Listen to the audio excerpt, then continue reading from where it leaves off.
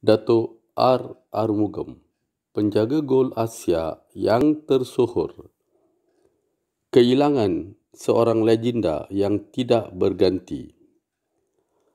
Arumugam Rangasamy dilahirkan pada 31 Januari 1953 di Pelabuhan Kelang, Selangor.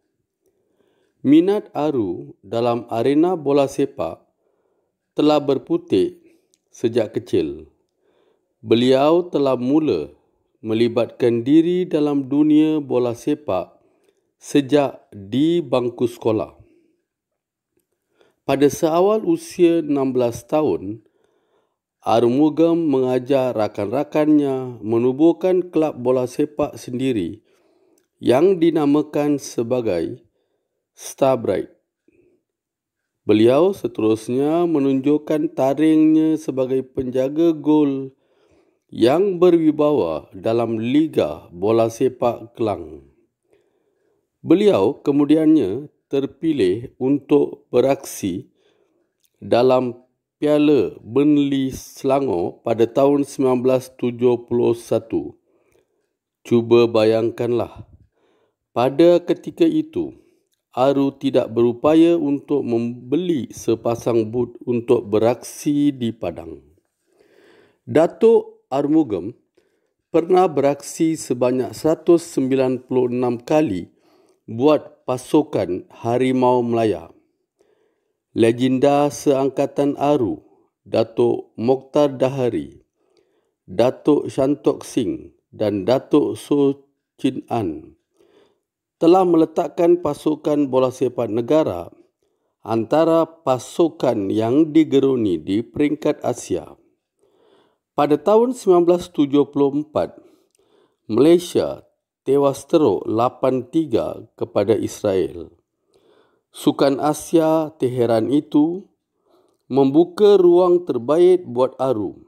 Malaysia yang kalah teruk dalam perlawanan pertama itu menyaksikan Wong Hee Kok sebagai penjaga gol. Dalam perlawanan pusingan kedua, Malaysia-Israel, Armugam diberikan peluang untuk menggalas tanggungjawab sebagai penjaga gol. Aru yang sering digelar Spiderman membuktikan kewibawaan beliau sebagai penjaga gol sekaligus membantu Malaysia meraih pingat gangsa dalam kejohanan tersebut. Spiderman Datuk Aru memiliki kelebihannya yang tersendiri dalam menangkap, menendang dan menumbuk bola serta merebahkan badan agar tidak dibolosi gawang negara. Beliau yang mewakili Kelab Selangor FA Antara tahun 1971 hingga 1988 telah beberapa kali menolak tawaran untuk beraksi di kelab bola sepak luar negara. Dato' Armugam telah mewakili pasukan kebangsaan antara tahun 1973 hingga 1986. Gelagat Spiderman yang sering kali menegur Barisan Pertahanan Negara setiap kali gawang negara hampir dibolosi lawan terus menjadi kenangan buat selama-lamanya. Datuk Armugam yang tinggi lampai dengan tangan yang panjang serta ketangkasan luar biasa terus meletakkan pasukan bola sepak negara di tempat yang amat disegani lawan.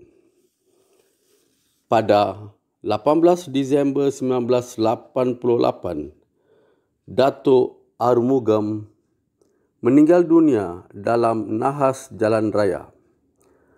Pemergian legenda dalam usia 35 tahun itu meletakkan arena bola sepak negara dalam suasana suram, sepi dan duka seketika.